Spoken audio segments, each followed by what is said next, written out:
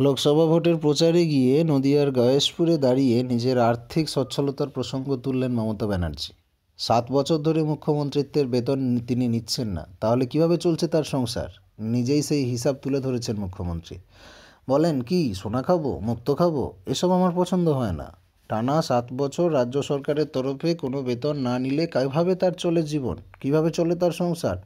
সভামঞ্চ থেকে মুখ্যমন্ত্রী বলেন, আমি বেতন নিই না। আমি গাড়ির তেলের টাকাও নিই না। তাহলে বলবেন, আমার কীভাবে চলে? শুনুন, আমি বই লিখি। বই লেখার টাকা হচ্ছে আমার নিজস্ব উপার্জন।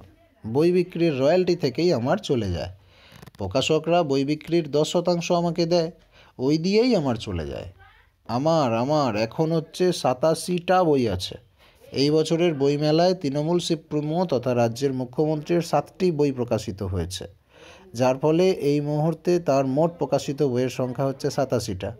চলতি বইমেলার উদ্বোধনে গিয়ে মঞ্চে দাঁড়িয়ে বই লেখার নিরিখে সেঞ্চুরি করার বার্তা দেন। বলেন, পরের বছরে পটাপট তেরোটা বই লিখে ফেললেই আমার সেঞ্চুরি হয়ে যাবে। এর আগে একাধিক কবিতা, প্রবন্ধ, উপন্যাস তিনি লিখেছেন। বিপন্ন ভারত, তিনশো কপি এবং আমি, শিশুদোলা, নামাঞ্জলি সমগ্র এর মতো বইগুলো একশো কপির বেশি বিক্রি হয় এবারের বইমেলায়। তবে মুখ্যমন্ত্রী নিজে বেতন না নিলেও বিধায়কদের ভাতা দ্বিগুণ করার প্রস্তাব গিয়েছে নবান্নে।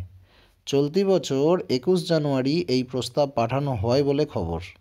বিধানসভার অধিবেশন চলাকালে বিধায়কদের দৈনিক ভাতা দু হাজার টাকা করার প্রস্তাব করেছে এন্টাইটেলমেন্ট কমিটি। রাজ্য সরকারের অর্থমন্ত্রক সেই প্রস্তাবে মঞ্জুর করলে আরও কিছুটা বাড়বে পশ্চিমবঙ্গের বিধায়কদের বেতন। বর্তমানে মাসে বেতন ও ভাতা মিলিয়ে একাশি হাজার তিনশো টাকা পান পশ্চিমবঙ্গের বিধায়করা। দৈনিক ভাতা পান হাজার টাকা করে। দীর্ঘদিন ধরে এই ভাতা বাড়ানোর প্রস্তাব করছিলেন বিধায়করা। সেই দাবি মেনে অবশেষে বিধায়কদের মন্ত্রীদের সমান ভাতা দেওয়ার প্রস্তাব করল এন্টাইটেলমেন্ট কমিটি তবে শুধুমাত্র বিধানসভা অধিবেশন চলাকালীন দু হাজার টাকা দৈনিক ভাতা পাবেন বিধায়করা। বাকি দিনগুলিতে হাজার করেই ভাতা পাবেন তারা। রাজ্য অর্থমন্ত্রক প্রস্তাবে সায় দিলে মমতা বন্দ্যোপাধ্যায়ের জামানায় এই নিয়ে তৃতীয়বার বাড়বে বিধায়কদের বেতন। শেষবার দু হাজার সতেরো সালের এগারোই মার্চ বেড়েছিল রাজ্যের বিধায়কদের বেতন।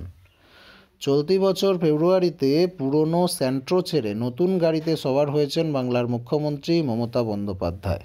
সূত্রের খবর ফোক্স ভাগেনের পোলো গাড়িতে চেপেই যাতায়াত করছেন তিনি। সম্প্রতি জানুয়ারিতে নেতাজি ইন্ডোরে অনুষ্ঠিত খেলাশ্রী অনুষ্ঠানেই তাকে প্রথম দেখা যায় নতুন গাড়ি চেপে আসতে। মুখ্যমন্ত্রী হওয়ার পর থেকে কলকাতা ও জেলায় সাধারণ স্যান্ট্রো গাড়িতেই সবার হতেন মুখ্যমন্ত্রী। মূলত মুখ্যমন্ত্রীর নিরাপত্তার জন্য এই গাড়ি বদল বলে জানা গিয়েছে। প্রায় সাড়ে সাত বছরের মাথায় গাড়ি বদলালেন তিনি। এই ইনফরমেশানগুলো শেয়ার করার জন্য পশ্চিমবঙ্গবাসীর কাছে ভিডিওটিকে অবশ্যই শেয়ার করবেন। ভিডিওটিকে লাইক করতে ভুল করবেন না। আমাদের সঙ্গে থাকুন। পরবর্তী ভিডিওতে কিছু গুরুত্বপূর্ণ তথ্য জানার জন্য।